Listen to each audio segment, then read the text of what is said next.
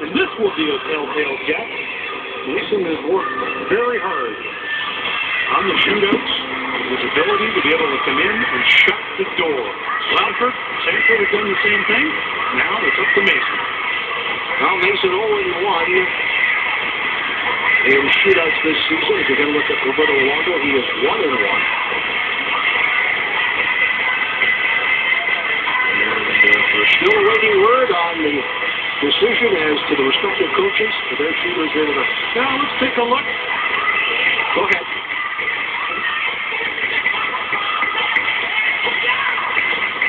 Letestu, Nash, and Wisniewski.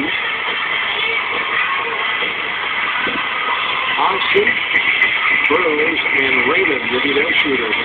I'm surprised, Bill, that there's no Sedin or shooters or Kesler. One for one on the year. Burrows is zero for one. And then Mason Raymond, who had not been in that uniform much after that uh, injury last year. But it's up to the Jackets right now. Letestu, the first shooter. He is one for two. Letestu picking up an assist, the second assist on the Carter goal. Way back, midway through the opening period. And the crowd on their feet here. Letestu moving in. The half bar, trying to pull it on and scores! A wrist shot from inside. One nothing. Columbus in the shootout. Pretty good patience. Western Michigan product, showing exactly what it's all about. Comes in, watch him give the fake, and then high, up over top of that glove side. That was a pretty play by Mark Letestu.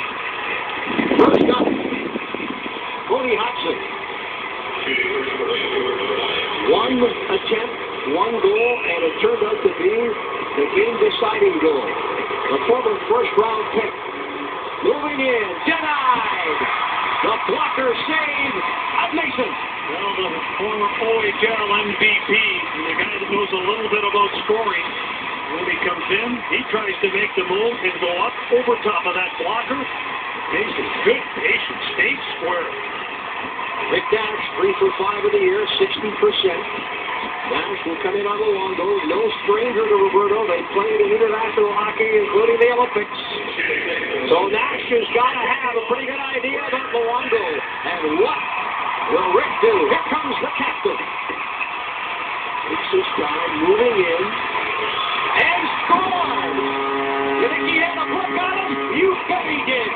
2 nothing Jacket. Yeah, turn to page two because it spells it right out. And what a move. He is three for three in the last few games with Calgary and Montreal and now again against Vancouver. Read the book over. Jackets have got two on the board. Up next, Alex Burrows. Jackets lead 2 nothing in the shootout. A goal needed here by Burrows to keep it alive. Moves in and scores. He fakes as if he's going to go on that high glove side. Then there's a left-handed shot. You pull it to the backhand quickly. As you freeze the goaltender, you can see right there, he falls for the first deep, and he goes high over top of that blocker. Well, tell you what, James Wisniewski can end it here. Wisniewski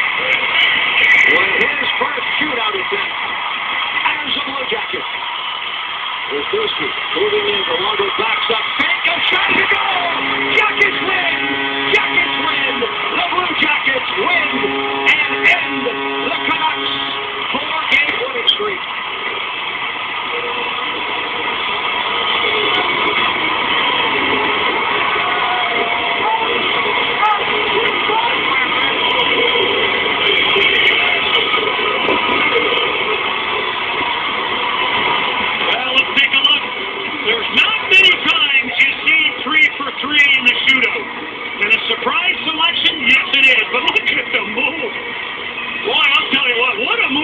He makes it backhand, gets him going the other way, and sneaks it underneath the left pad of Roberto Luongo.